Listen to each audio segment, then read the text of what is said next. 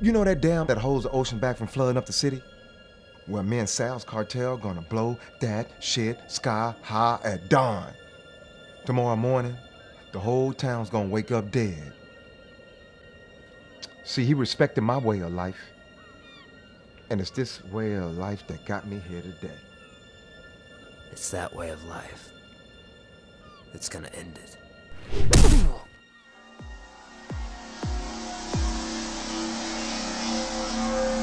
People don't think they can do anything for themselves anymore.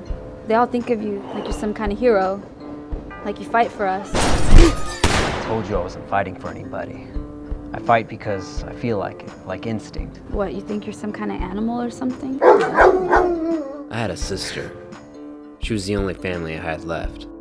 And it was the king that did her in.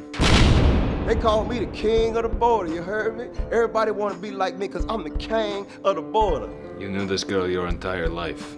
You deserve to have your revenge. Her life.